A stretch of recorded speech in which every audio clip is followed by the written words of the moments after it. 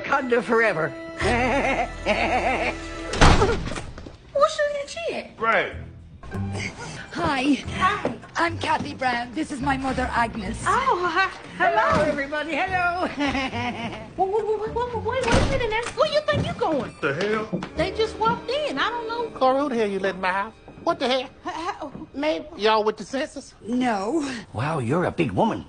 What? What? Mommy. I'm, ju- I'm just saying, she's a big woman, and I mean big, like, wow. Is the air tin up there? Oh, hell, who is this? Ma- ma- Somebody tell me who is this? Aunt Agnes, what are you doing here? We came for your graduation. Great, what a surprise. Surprise. Great.